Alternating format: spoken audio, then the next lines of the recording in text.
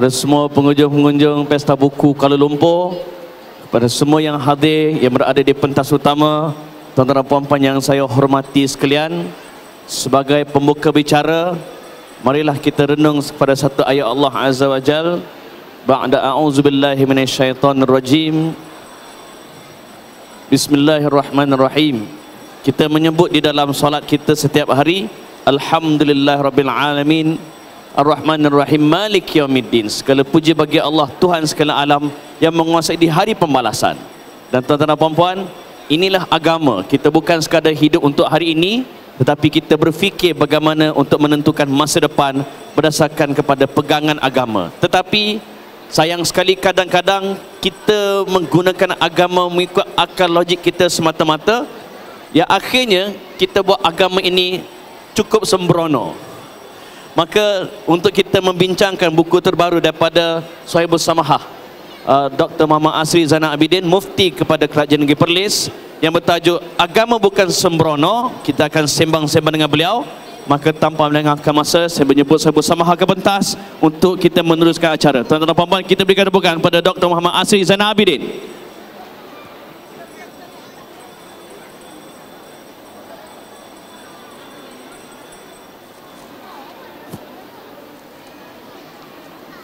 Eh, Assalamualaikum uh, Doktor sihat?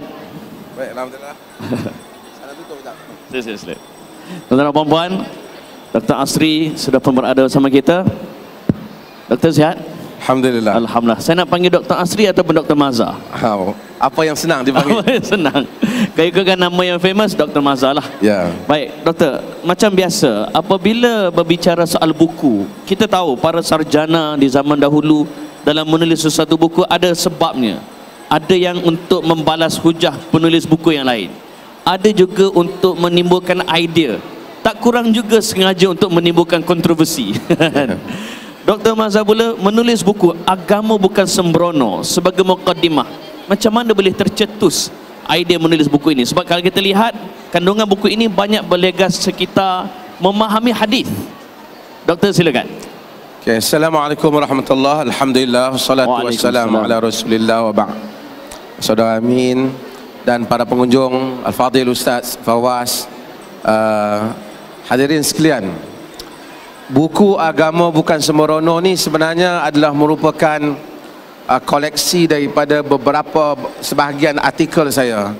Dan artikel-artikel ni banyak ditulis kerana saya respon kepada keadaan yang berlaku pada masa itu misalnya kita akan tengok ada isu anjing umpamanya dalam Ya, ini. benar. ada isu tentang hadis palsu. Ada isu juga tentang uh, perkara tentang wanita. Kesemuanya itu saya menjawab persoalan yang ditimbulkan yang pada sisi pandang saya kita perlu betulkan persepsi yang salah yang dikaitkan dengan agama maka saya menulis artikel-artikel tersebut.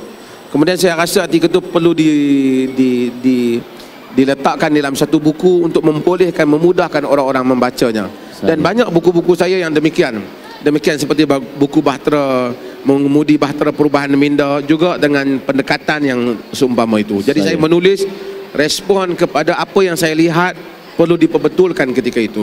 Saya suka bila doktor sebut tentang respon dan kritikan pada masyarakat. Sebab ada satu hadis yang diriwayatkan oleh Imam Ahmad tentang peranan pada pendakwah. Disebut yahmiluddin yahmilun ilm. Bagaimana kita menjaga agama menjaga ilmu. Barangkali hadis itu adalah inspirasi kepada penulisan buku-buku sebegini doktor?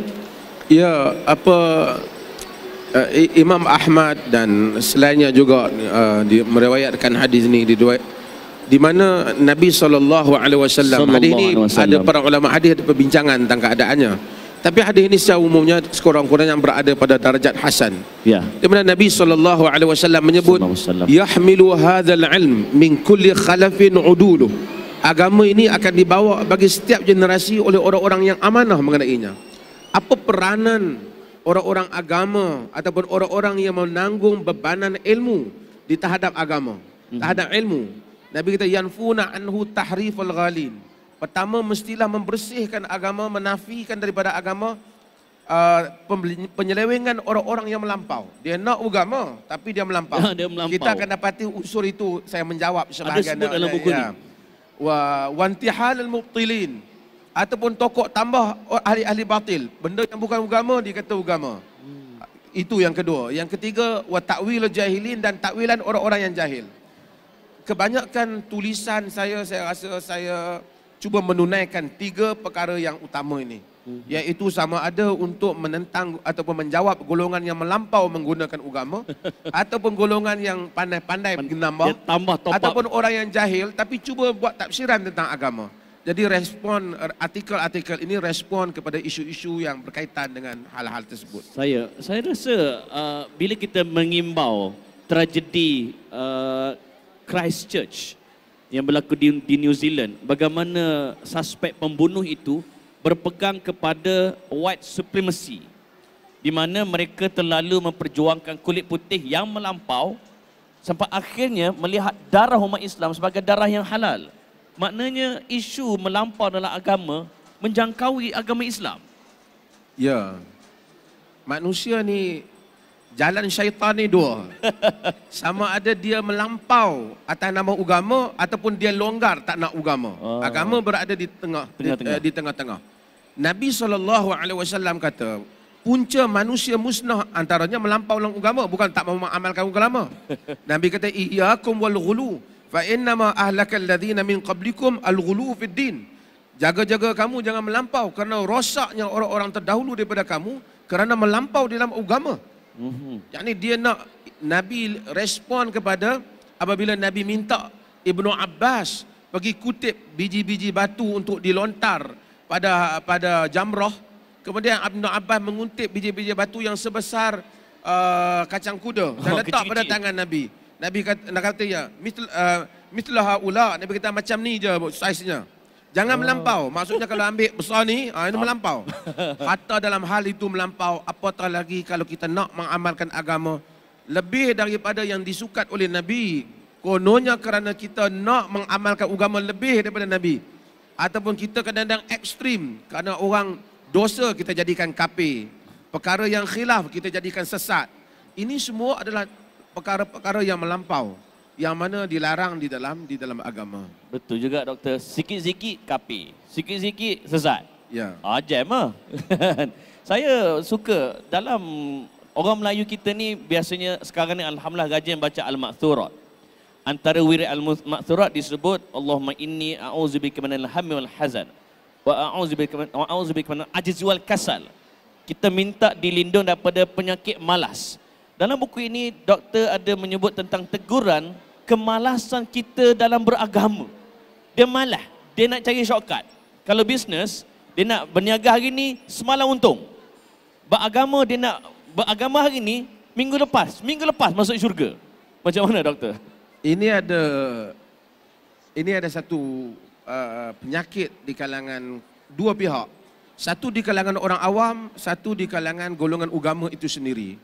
Di mana sebahagian golongan agama dia nak jadikan agama itu begitu eksklusif.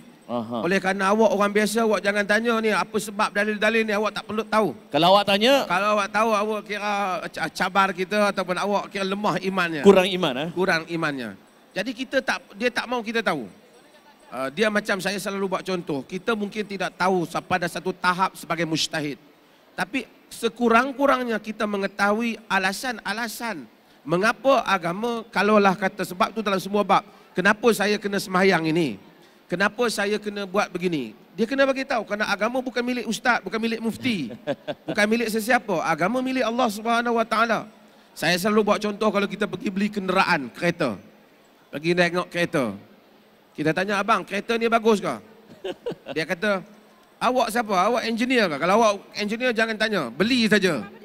Saya engineer. Inilah yang cuba dibuat oleh sebahagian orang kepada kita Dengar dalam program. dan taat. Dengar dan taat tanpa mengetahui sebab. Kita mungkin tidak isytihad tetapi sekurang-kurangnya kita ittiba. Kita mengikut dengan mengetahui kerana agama menyatakan wala taqfu ma laysa laka bi ilm inna sam'a wal basara wal fuada kullu ulaika kana anhu mas'ula. Jangan kamu ikut apa yang kamu tak tahu kerana pendengaran, penglihatan kamu dan jiwa kamu ditanya oleh Allah Subhanahu wa taala. Sekurang-kurangnya kita mesti tahu apabila ustaz tu kata buat begini, alasannya apa ustaz? Kita bimbang ustaz pun tak tahu alasannya. Kalau dia apa ambil? Sekurang-kurangnya dia kena tahu. Mungkin kita tidak kita tidak berkemampuan untuk membatalkan ijtihad orang lain kerana kita bukan mujtahid. Tapi kita berhak untuk mengetahui alasan para setiap mujtahid dengan kadar-kadarnya. Melainkan kita ni sampai kepada satu peringkat dua campur dua pun tak larat nak fikir lah. Ah, tak apalah ketika itu kita ikut je lah. Ha? Maknanya doktor, sekiranya sebab dalam isu ini ada juga mengatakan biarlah orang awam kan tak perlu cerita nanti dia penin. Kan orang awam tak perlu kita bagi tahu alasan, nanti dia bengong. Biarlah orang awam tak perlu cerita segala sebab musabab, nanti dia jadi keliru. Akhir sekali makin jauh pada agama. Macam mana tu? Dan kalau kita dalam masa yang sama, ironiknya kita ni, kita kata kita balik pada Quran dan Sunnah.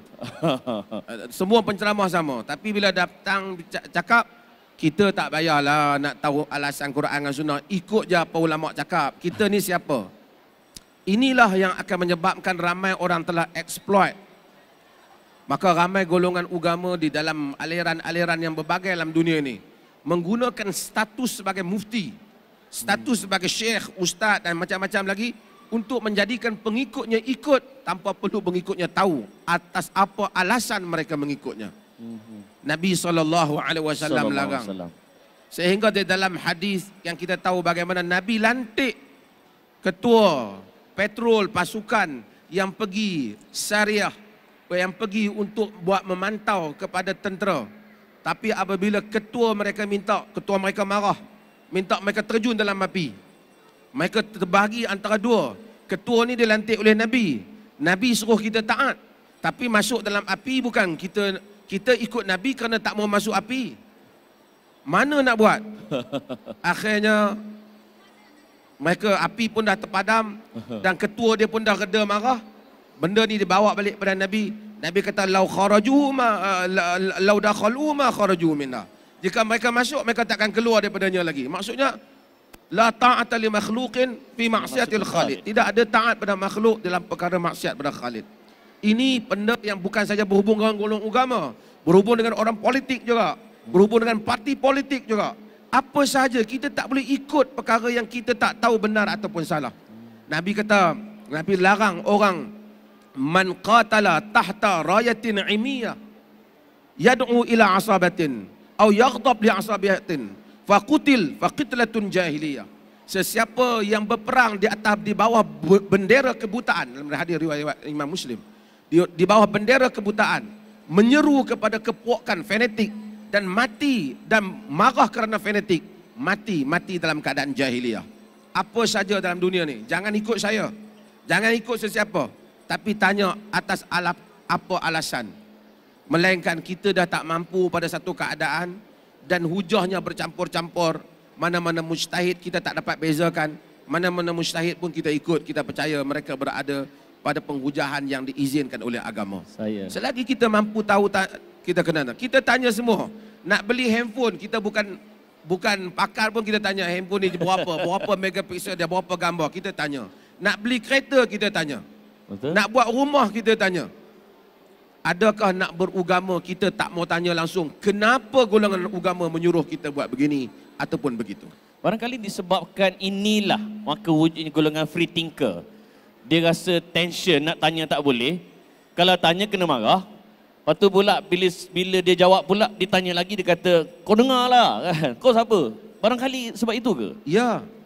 Sebab itu kerana kadang-kala kita me, kita mewarisi naratif lama yang kadang-kadang golongan agama itu sendiri tidak berapa tahu tentang apakah yang dia warisi itu kuat ataupun tidak. Saya selalu buat contoh lama. Ini apa nama uh, contoh durang dulu. Kenapa apa wujudnya apa apa bukti wujudnya Tuhan? Kerana wujudnya alam ini. Kenapa adanya alam ini adanya Tuhan? Kerana mustahil ada benda yang ada, tidak ada penciptanya. Tapi kalau kita meri pada zaman sekarang, dia kata di atas falsafah yang sama, Tuhan yang ada siapa penciptanya. Oh. Kerana awak telah buat satu kaedah. Setiap yang ada mesti ada penciptanya. Oh dia kata Tuhan tak boleh tanyalah. Habis kan? Ha, sebab itu saya rasa golongan agama juga perlu untuk kembali menyemak penghujahan dan uslub dan metod yang mereka guna di dalam berhujah dan memperkatakan berhubungan agama. Manusia tak sama antara zaman dan cara mereka berfikir. Generasi ini mereka ada benda yang mereka baca dan ada hujah-hujah yang bukan dalam negara saja, luar negara mereka baca. Dia memerlukan jawapan yang tuntas berhubung dengan agama. Sebab itu ini yang kita seru supaya golongan agama menyemak alasan, dalil dan melihat realiti sejauh mana ia kukuh untuk dikemukakan pada zaman ini. Masya Allah. Dan saya suka antara tajuk yang Dr. Mazhar tulis dalam bukunya ialah Jangan lelong murah nama Nabi sallallahu alaihi wasallam. Saya sempatlah baca uh, beberapa kandungan dalam buku ini. Cuma melihat realiti sekarang, kita pernah jumpa air berkarbonat yang dibacakan 30 juzuk ayat Quran. Malah ada banyak uh, resipi-resipi ataupun produk-produk yang menggunakan strategi marketing atas nama Nabi sallallahu alaihi wasallam. Apa yang sebenarnya doktor nak tegur dan kritik masyarakat soal jangan lelong murah nama Nabi sallallahu alaihi wasallam. Kita kena tahu ada beberapa realiti. Realiti yang pertamanya pada zaman ni orang banyak salah sangka terhadap agama. Kalau kita silap katalah saya kata ini ayat ni ada di Quran. Baca. Pertama saya jual satu hal. Tak apalah ada perbincangan hal itu. Keduanya ialah dia mungkin sangka ayat Quran ni kalau baca kita tulis pula. Kalau baca ni jadi cerdik, jadi bijak. Dia pun baca, minum. Kemudian dia pergi periksa. Dia minum, anak bukan Islam tanya dia ni air apa? Dia kata ni air Quran punya. Kalau baca boleh pijak. Dia pun baca. Dia dapat 5A. Budak bukan Islam tu minum air kosong ya. Dia dapat 10A. Dia akan kata saya punya air lebih baik punya punya you punya air. Tak ada jampi lebih baik. Ah, macam mana tu? Ya. Sebab itu kerana ko- konteks kita yang berbeza. Kita ini semua nak kena dijaga supaya kita tidak salah meletakkan konteks ini. Baca ayat Quran pada ayat air atau seumpamanya ini tidak ada masalah. Mengambil upah juga ada bab dalam hal ini. Tetapi satu komersial yang dibuat secara berluasa yang menyebabkan orang boleh menimbulkan salah faham dan jampi pada bu- fuqaha ada bincang jampi ni boleh untuk apa sebahagian mereka kata untuk gigitan uh, haiwan jin tapi bolehkah saya nak jampi bagi Amin tak bijak saya nak jampi bagi bijak sedangkan pasal. membaca kan umpamanya misalnya Amin tak lah kan ini Contoh. semua komersial yang seperti ini ada kumpulan yang mengutip untung dan ada agama yang disalahpahami. Ini yang kita kena elakkan. Perbincangan fiqah satu sudut, realiti yang berlaku hendaklah dilihat uh, pada zaman kita ini. Saya. Uh, tuan-tuan dan puan pernah tak tengok Dr. Mazhar berserban berjubah? Saya rasa jarang sangat. Ada paling tidak pun paling tinggi Dr. Mazhar letak kain atas bau. Itu je. Sebab masyarakat kita doktor, apabila melihat seseorang ahli agama, dia mesti berserban berjubah. Maka itulah amanah syah kita. uh, yang ni lagi ya. Pakai kasut LV, Dr. Fawaz. kan? Memang tak ah. Kita melihat agamawan disempitkan hanya kepada pakaian. Sedangkan kalau kita lihat negara-negara maju seperti di Jordan, malah di US, agamawan bukan hanya diukur pada pakaian tapi pada pemikiran. Tarik Ramadan tak pakai jubah serban. Macam mana Dr. Mazhar? Saya lihat benda ni kena dilihat kepada uh, satu agam pakaian bukan pengukur ilmu, betul? Satu sudut. Okey. Uh, dan negara setiap negara ada pakaian masing-masing. Ini keistimewaan Islam. Kenapa Islam menjadi agama yang pantas berkembang? Karena dia tak straight dengan pakaian. Hmm. Orang Arab pakai jubah, datang ke India jadi singkat sikit jadi kurta, datang ke tanah Melayu jadi baju Melayu. Dek, Islam berkembang tanpa memerlukan membuang budaya tempatan.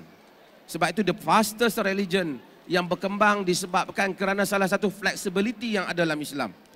Hari ini saya kata tengok kadang-kadang orang perempuan bila nak kuat Islam kena pakai uh, jubah hitam. Uh, uh, pakaian hitam, warna-warni seolah-olah tak begitu cukup syarat menutup aurat bagi tak wanita. Islamik lah. Sebenarnya tidak benar. Hadis-hadis Nabi SAW menunjukkan wanita memang memakai pakaian berwarna-warni. Oh. Isteri-isteri Nabi kata Aisyah binti Sa'ad raaitu sittan min ashabin Nabi yalbisna muasfara. Aku melihat enam daripada isteri-isteri Nabi pakai warna muasfar, muasfar kemerah-merahan. Oh. Kan? Apa, apa, apa nama Sayyidina Umar lihat satu orang lelaki pakai baju berkilat-kilat. dia kata da' uh, da' hadha uh, da' hadhil baraqat lin nisa biarkan wanita, baju berkilat-kilat ni wanita maksudnya wanita pada zaman tu pakai baju berkilat-kilat Baju bling-bling ah. ah maksudnya uh, idea pakai baju hitam mesti lebih islamik dan seumpamanya tidak dikenali pada zaman itu. Tetapi pakai baju sopan memang ada di dalam bab. Cumanya para fuqaha ataupun para ahlul hadis khususnya mereka ada bab yang dia panggil bab al-mukhillu bil muru'ah al-umur al-mukhillu uh, perkara-perkara yang men- menjejaskan maruah. Macam ni. Ada perkara yang halal di segi syarak. Ya, saya. tapi kalau kita pakai dia jadi macam kalau orang atau ahli ilmu dia pakai dia jadi pelik sikit pelik. Ha, jadi pelik tu kita elokkan lah. Ha, kita elokkan. Tiba-tiba saya pakai seluar jin, baju ketat kan. kan ha, born to be free, tulis pula kan. So macam... Mufti pakai ah, pelik ada pula kan- lah. Walaupun tak salah secara umumnya tetapi dia mukhillu bil muru'ah dia panggil. Dia mencacatkan maruah. So seseorang pilih pakaian yang sesuai. Imam Malik rahimahullah dia dia tidak kata satu orang la yanbaghi an an an yura al alimu illa bilibasin jaid. Satu orang tak patut dilihat melainkan dalam keadaan pakaian yang sesuai. Ah, Orang alim kan. Jadi uh, tak bukan mesti bos serban. Uh, saya tapi saya kata macam ni lah. Pakai yang sesuai. Saya tak nak pakai serban sangat barangkali saya tak cukup uh, ilmu dia tu. Allah. Jadi ataupun saya tak nak juga orang rasa jauh dengan saya. Weh jauh ni geng-geng serban jubah. Saya berasa kalau anak-anak muda semua boleh-boleh dengan saya. Boleh dengan saya. Tapi oleh kerana daripada awal saya pakai baju Melayu. Selalu pakai baju Melayu bukan kerana saya terlebih Melayu, saya tak masuk persatuan-persatuan Melayu tu pun. Eh, Tapi kerana supaya saya rasa ini sesuai dengan saya. Tapi umumnya ilmu tak terikat dengan pakaian. Pakailah apa-apa yang lebih dekat dengan mendekatkan manusia dengan ilmu. Macam di barat, di Jordan, memang mereka pakai pakai coat, pakai tie. Ulama-ulama mereka, mereka ada di di barat juga sama. Tapi kalau kita sebab tu Nabi larang nahan Nabi kata Aisyah nahan Nabi sallallahu alaihi wasallam an libas syuhrah. Dia larang libas syuhrah, pakaian yang pelik. Syuhrah ni dia jadi masyhur. Kita pakai baju tu semua orang tengok. Biar betul dia ni. uh, agama larang yang tu. Kita balik-balik kampung kita pakai serban uh, lain dia kata. Serban Yaman ya. Ah, serban. So tapi kalau kampung kita semua orang pakai baju Melayu. Kita seorang masuk-masuk ceramah pakai kot di masjid. Dia syuhrah.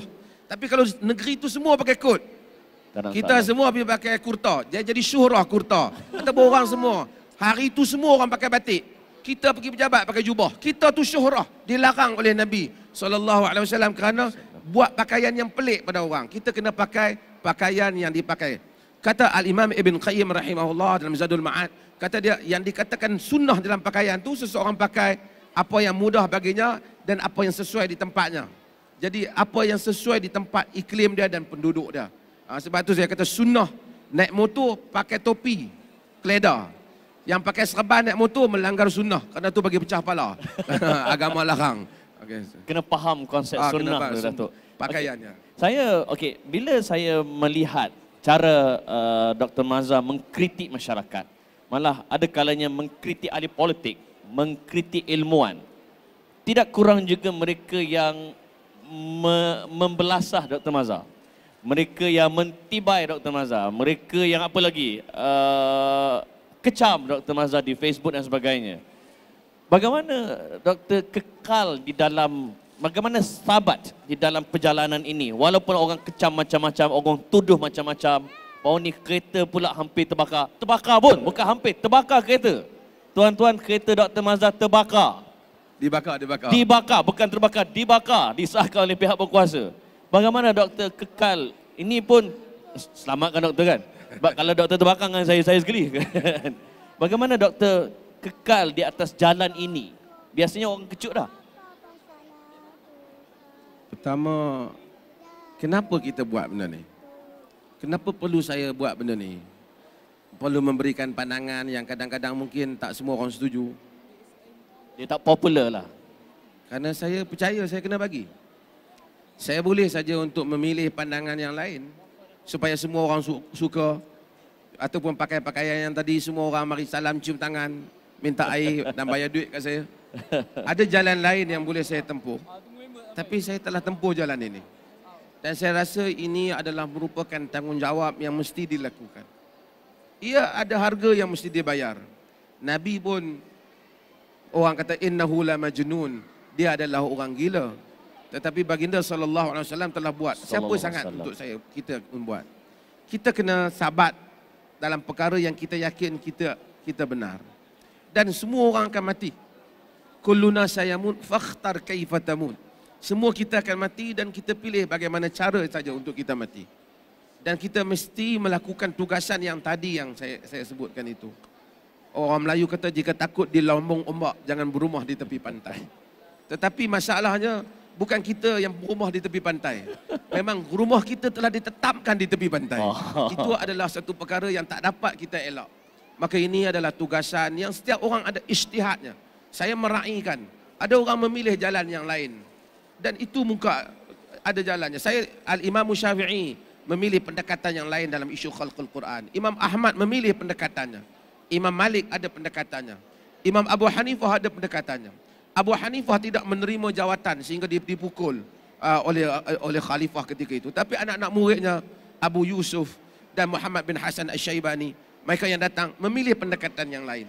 Tak apa, tapi setiap kita buat sesuatu yang kita rasa mudah-mudahan kita dapat berdiri di hadapan Allah Azza wa Jal menjawab bahawasanya kenapa awak lakukan hal ini. Kita doktor bila bertembung dengan perbezaan pendapat. Saya suka apa yang doktor sebut di dalam buku ini sikap kita suka mengkafirkan orang dan menerakakan orang. Dan sudut positif baguslah kita ada kesedaran nak ke syurga, nak jauh neraka kita. Tetapi bila kita ada beza pendapat, kita kafirkan orang itu. Kita nerakakan mereka. Mungkin kerana berbeza pendapat ataupun berbeza parti politik. Bagaimana doktor melihat budaya ini mensembronokan agama? Ya, ia bukan satu perkara baru. Telah berlaku pada zaman dahulu. Khawarij telah hal ini. Khawarij bukan kafirkan orang seperti kita. Khawarij telah kafirkan Ali bin Abi Talib Allah. di atas slogan wa man lam yahkum bima anzalallah fa ulaika humul kafirun. Sesiapa yang tak hukum dengan hukum Allah maka mereka orang kafir. Sayyidina Ali kena kafir. Sayyidina Ali telah kafir. Sayyidina Ali telah dibunuh oleh satu orang yang bernama Abdul Rahman bin Muljam. Abdul Rahman bin Muljam ini adalah anak murid yang belajar Quran dengan Abdullah bin Mas'ud. Ush. Dia adalah alim dan faqih. Pada zaman Umar bin Khattab, Umar pernah menulis surat kepada Amr bin As supaya memberi ruang kepada Abdul Rahman bin Muljam untuk mengajar Quran dan fiqh. Allah Akbar. Hebatnya Abdul Rahman bin Muljam. Tetapi dia telah membunuh Ali bin Abi Talib ketika salat subuh karena dia menganggap Ali bin Abi Talib tidak menegakkan hukum Allah yang sepatutnya. Semangat agama yang melebihi had yang patut. Nabi wasallam kata tentang sifatkan tentang khawarij yaqrauna al-Quran wala yujawizu hanajir wala yujawizu hanajiruhum. Mereka membaca Quran Quran tak lebih daripada halqum mereka. Yamrukuna minad din kama yamruku sahmu minar ramiyah mereka terkeluar daripada agama seperti terkeluarnya anak panah daripada busarnya. Mereka itu semuanya bersemangat agama. Kata Ibnu Abbas Khawarij itu ada kesan lelehan air mata di pipinya. Kerana kuat berdoa, kuat bersolat tetapi mereka mengkafirkan orang Islam yang berbeza pendapat. Mereka berhujah dengan Ibnu Abbas. Mereka menyatakan bahawa saja Ali bin Abi Talib sanggup tidak tulis nama dia Amirul Mukminin jika dia bukan nak berdialog dengan nak berundi dengan Mu- Muawiyah jika dia bukan Amirul Mukminin bererti dia Amirul Kafirin. Allah. Itu cara fikir Dia dia. buat Kalau bukan tu. putih mesti hitam. Dia Dia tak kata mungkin kelabu merah dia tak ada. Tak. Kalau awak menafikan awak jawatan Amirul Mukminin, awak sanggup letak tak pakai jawatan tu kerana nak berdialog, maka awak Amirul Kafirin. Oh senang-senang. Ibnu Abbas kata Rasulullah sallallahu alaihi wasallam ber- ber- berunding dengan Suhail bin Amr. Suhail tak benarkan Nabi menulis Muhammad Rasulullah. Mm-mm. Kemudian Nabi terima. Nabi kata uktub ya uktub ya Ali Muhammad bin Abdullah, Muhammad bin Abdullah. Adakah Nabi Muhammad telah meninggalkan jawatannya? Maka dia sudah tidak menjadi rasul ketika itu. Pemikiran yang simplistik yang seperti ini cenderung membuat kesimpulan yang cepat kemudian mengkafirkan orang lain di atas satu benda. Saya nak berislam. Awak tak sokong pendapat saya. Awak tak sokong Islam. Awak tak sokong Islam. Awak kafir. Oh jam. Apabila awak berzina, berarti awak telah melanggar hukum Allah. Bila awak melanggar hukum Allah, berarti awak menghina hukum Allah. Bila awak menghina hukum Allah, awak kafir. Bunuh. Padahal boleh ada benda lain, awak berdosa, awak fasik. Sebab tu ada ada ada kufur, ada fasik, ada banyak. Dia hanya ada Islam dan kafir. Maka kumpulan ini Khawarij ni akhirnya walaupun dari segi idealisme dua kelompok yang hebat di segi idealisme. Pertama Mu'tazilah kerana suruh orang guna akal. Yang kedua ialah Khawarij kerana kata siapa buat dosa jadi kafir. Katanya kalau orang ikut Khawarij, maka tak buat dosa. Tapi Khawarij akhirnya hilang daripada um, peta umat Islam. Seperti mana Mu'tazilah juga hilang. Walaupun dapat support kerajaan yang kuat. Sebab manusia tidak hidup dalam semua keadaan dengan idealisme. Manusia ada yang tak boleh berfikir kuat, ada yang kena taklid, ada yang boleh faham, ada yang tak boleh faham, ada ahli dosa, ada yang kuat ibadat. Agama datang untuk semua. Sebab itu agama Nabi larang tadi, iyyakum wal ghulu, jangan melampau. Sebab itu saya menulis artikel itu kerana ada orang yang menganggap kami memperjuangkan Islam. Siapa yang tak menyokong perjuangan kami berarti tak menyokong Islam. Siapa yang tak menyokong Islam berarti sokong kafir. Siapa tak sokong kafir, sokong kafir berarti dia kafir. Ini adalah matematik khawarij yang Nabi SAW beri amaran. Bukan benda baru. Berlaku. Angkat bendera. Inil hukmu illa lillah. Tidak ada hukum melainkan hukum Allah. Mereka telah perang dengan Ali. Perang dengan Muawiyah. Dan telah membunuh ramai orang Islam. Ribuan dalam peperangan Nahrawan. Dibunuh orang Islam di atas nama agama. Dan bila doktor sebut soal disiplin kita yang mudah mengkafir ke orang, meneraka ke orang hanya kerana perbezaan pendapat, habis itu saya yakin penonton yang ada atas bawah dan sekeliling ini bertanya, habis itu bagaimana kalau kita bertemu dengan perbezaan pendapat, macam mana cara ni supaya kita menggunakan, mengurus perbezaan pendapat mengikut neraca agama supaya akhirnya kita tak beragama dengan sembrono.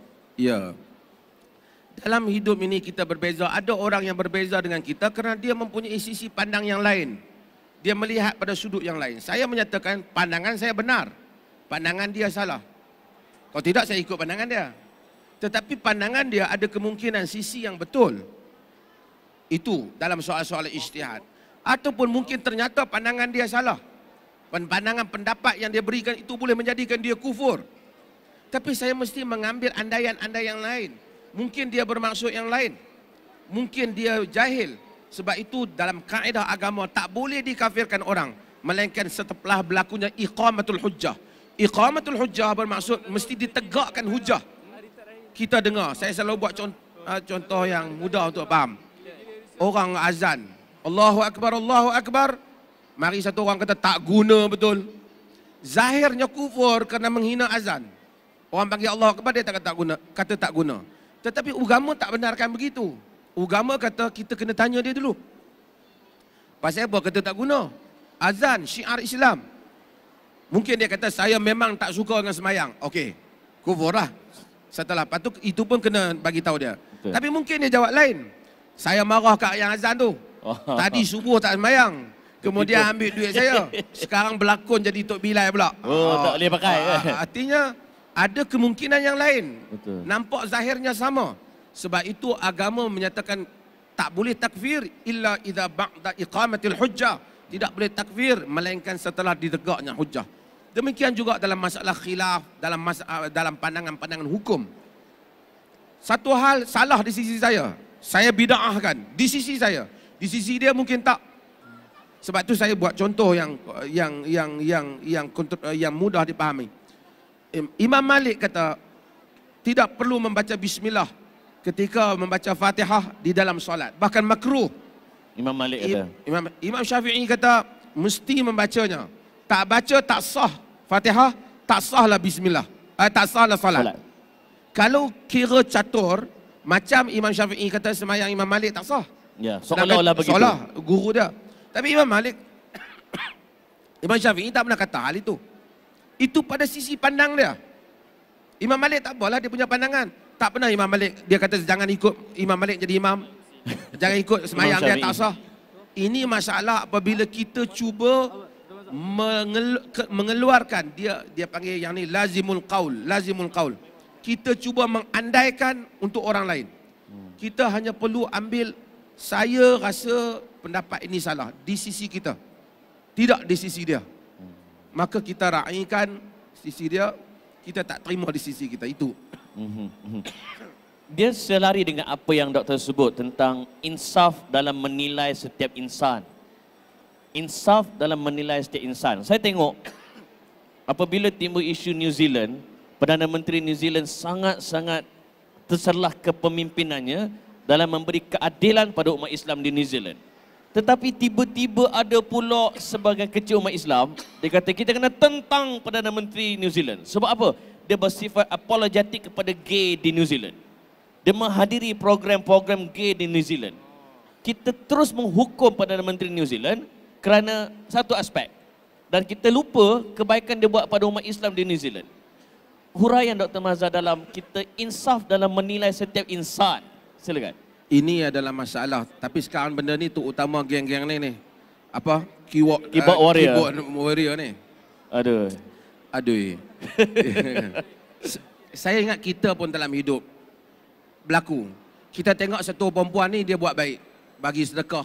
Alah bagi sedekah. Tudung pun tak pakai. Nampak? Kita tak tengok yang positif sedekah tu. Dia tolong orang susah. Tolong orang susah pun tudung tak pakai.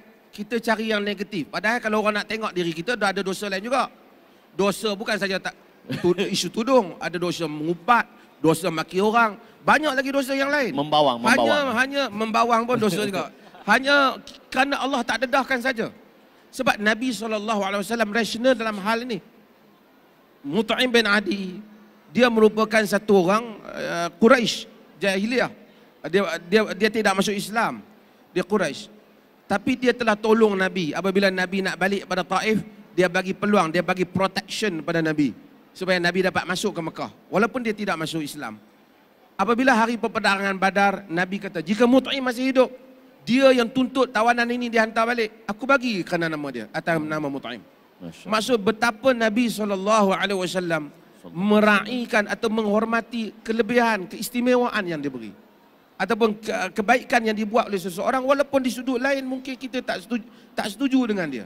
Dan ini dibuat oleh Nabi pada banyak kepada kabilah-kabilah Arab dan kepada eh, yang datang yang tak menganut Islam.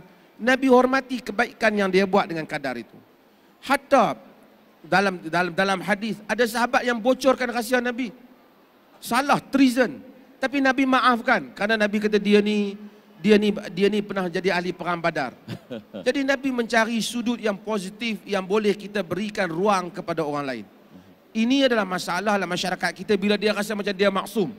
Dia tengok orang, alah dia ni baik yang tu tapi dulu ah, Dulu dia dia akan memaafkan diri dia tapi dia tak akan memaafkan orang lain dia akan mencari kalau orang cari dosa kita tidak ada saya tak boleh bercakap atas pentas ni. Habis, dan saya percaya saudara Amin juga tak boleh bercakap atas pentas ni. Kerana semua kita mempunyai dosa dan kesalahan.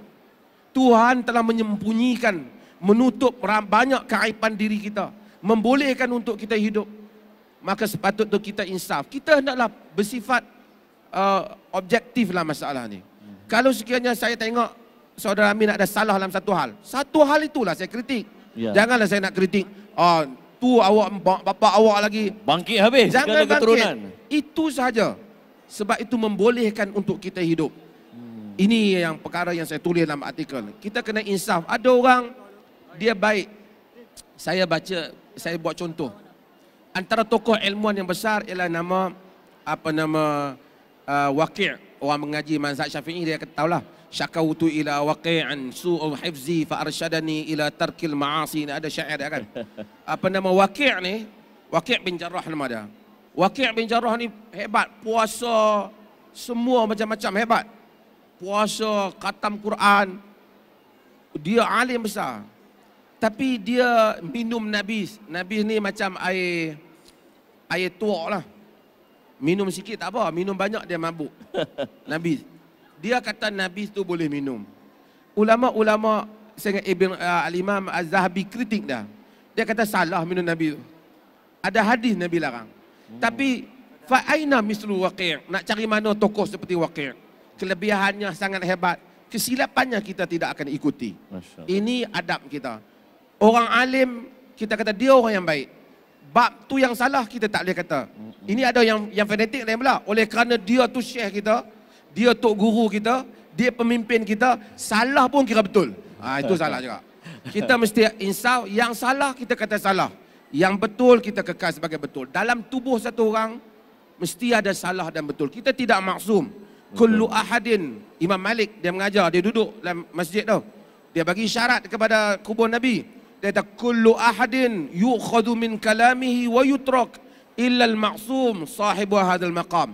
Semua orang diambil dan ditolak cakapnya. Melainkan yang maksum, tuan punya kubur ini.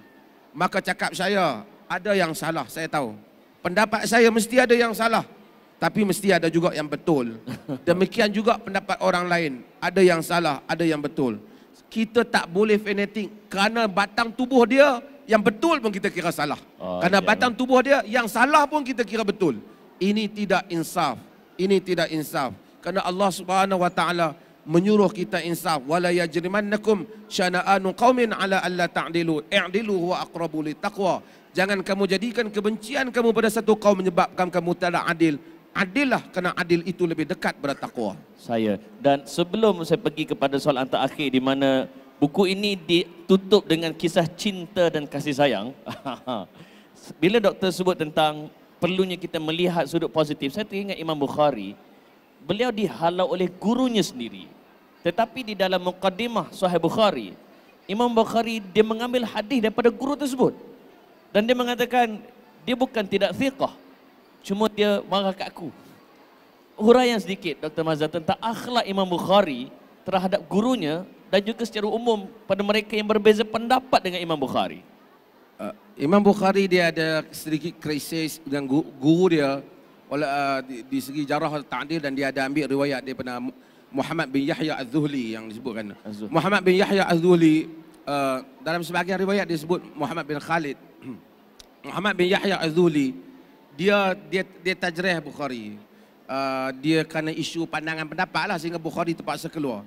Tetapi uh, dalam Sahih Bukhari ada riwayat daripada Muhammad bin Yahya walaupun dia tak mention jelas dia tak sebut Zuhli. Imam Muslim tak ambil kan?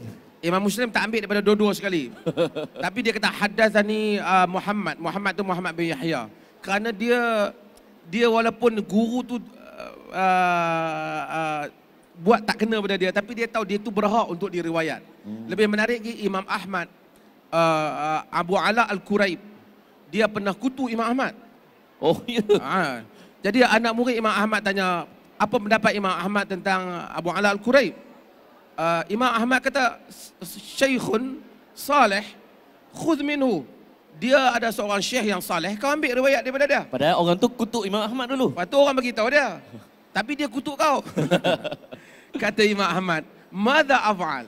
Syekhun salih ubtili abi." Apa yang boleh aku nak buat? Seorang syekh yang saleh telah diuji oleh Allah mengenai aku.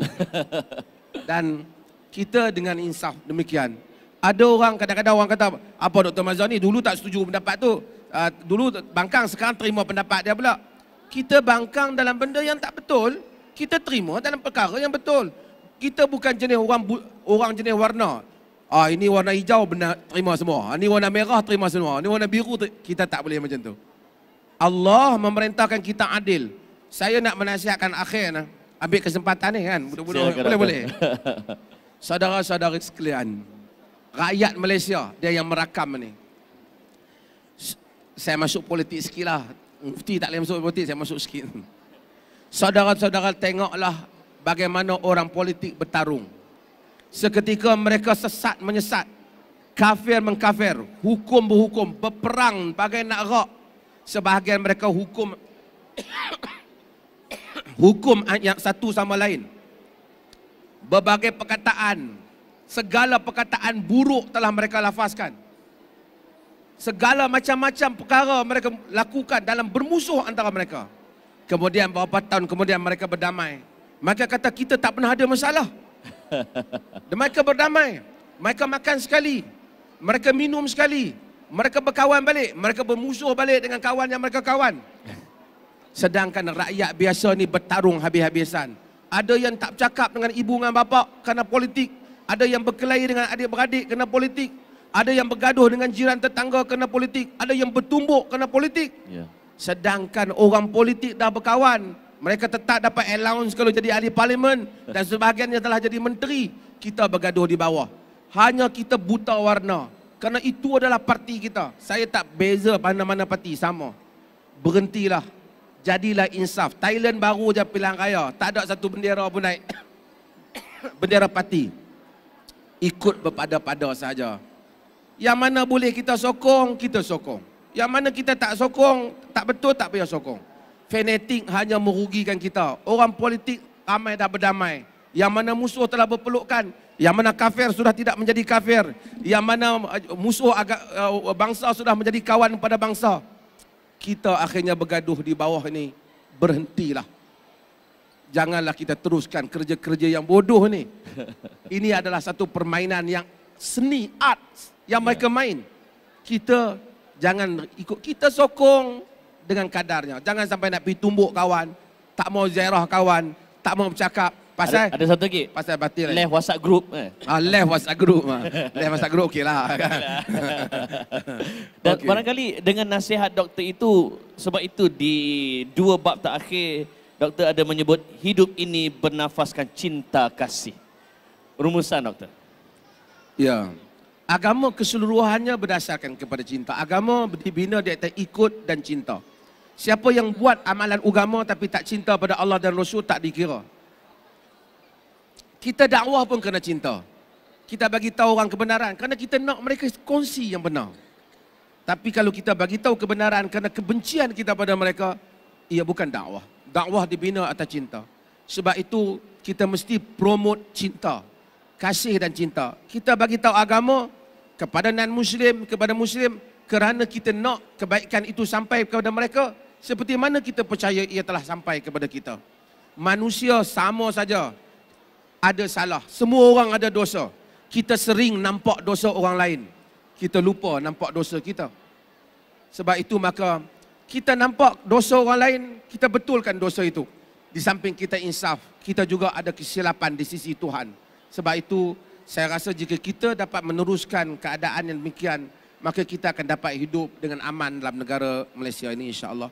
Sekian wassalamualaikum warahmatullahi Waalaikumsalam warahmatullahi wabarakatuh. Tuan dan puan-puan, kita berikan tepukan gemuruh kepada saya bersama Dr. Maza, aka Dr. Muhammad Asri Zainal Abidin. Dapatkan buku Agama Bukan Sembrono, buku terbaru yang menghimpunkan segala tulisan-tulisan yang uh, ilmiah dan juga kritikal daripada Dr. Maza insya-Allah. Maka dengan itu saya serahkan balik kepada pihak Senang Terbit untuk meneruskan acara. Tuan dan puan-puan, sekali lagi tepukan untuk anda semua yang memeriahkan acara pada pagi tengah hari ini insya-Allah. Silakan pengurusi majlis. Okey, terima kasih kepada Dr. Muhammad Asri Zainal Abidin atas perkongsian